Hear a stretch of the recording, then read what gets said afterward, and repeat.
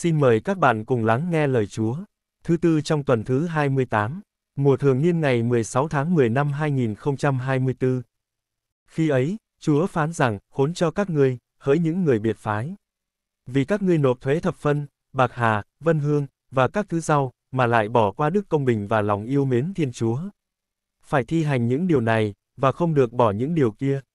Khốn cho các ngươi, hỡi những người biệt phái, vì các ngươi ưa thích ngồi ghế nhất trong các hội đường, và ưa thích được chào hỏi ngoài phố chợ. Khốn cho các ngươi, vì các ngươi giống những mồ mả không rõ rệt, người ta bước đi ở trên mà không hay biết. Có một tiến sĩ luật trả lời người rằng, thưa thầy, thầy nói như thế là sỉ nhục cả chúng tôi nữa. Người đáp lại rằng, hỡi những tiến sĩ luật, khốn cho các ngươi nữa. Vì các ngươi chất lên người ta những gánh nặng không thể vác được, mà chính các ngươi dù một ngón tay cũng không động tới. Tạ ơn Chúa.